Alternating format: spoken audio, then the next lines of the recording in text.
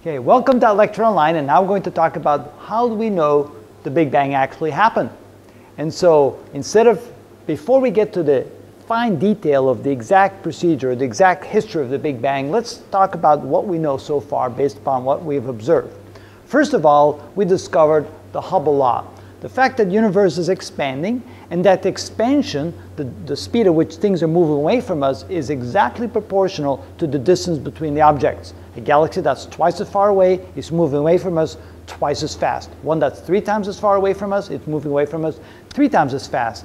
And that would indicate that it's actually space between the galaxies that are expanding rather than the galaxies moving through space. So space, the universe, that's made out of space and matter, space is expanding in a uniform manner all throughout the universe. Hubble constant is the constant that then mathematically describes or indicates how fast the universe is expanding, and now we know that it's about 73 kilometers per second for every one megaparsec of space.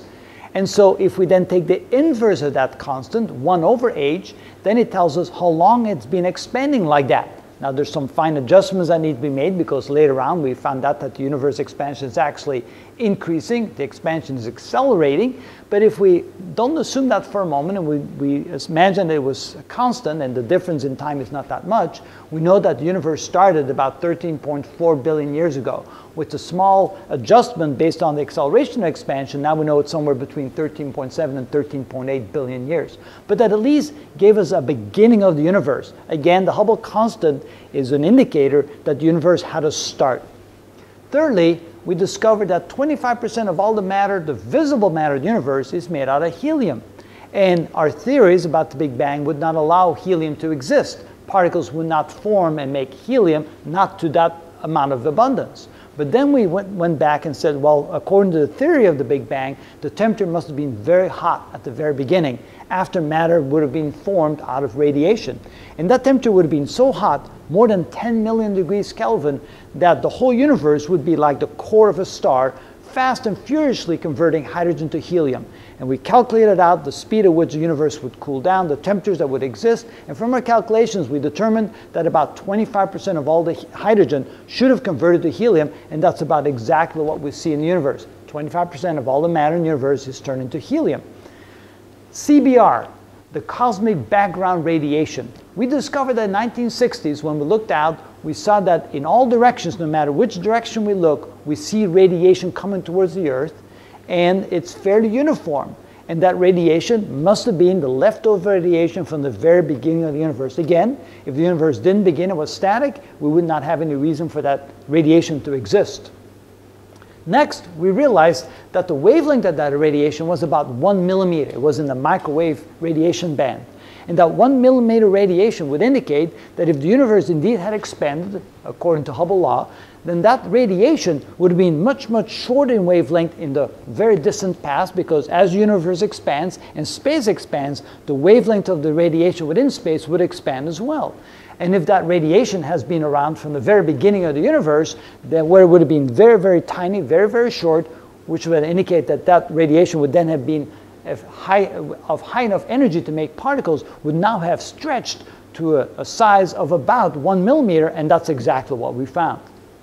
In addition to that, we found that the CBR, the, the cosmic background radiation, was extremely uniform. It didn't matter which direction we looked. In all directions, the radiation was coming from every direction, and it was exactly the same wavelength. It was extremely homogeneous in frequency, in wavelength, and therefore energy, almost beyond belief.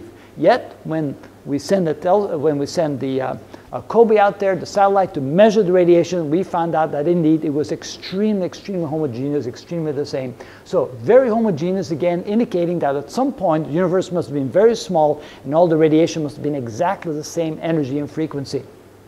On top of that, we realized that if we then theoretically go back in, in time, where not only did we create uh, or form, not create, but form helium out of, of hydrogen, and of course we didn't do it, the universe did it, uh, we also then realized that even before that, the universe must have even been hotter with the radiation having such high frequency and such high energy that it would have been able to make particles at that time. So we imagined that the universe existed full of energy and at some point particle creation was happening at a very furious rate. It could have done so because the universe must have been so hot and so energetic at that time. Then, we, of course, we realize Olbers' paradox. We realize now the universe is not infinite. The universe must be finite.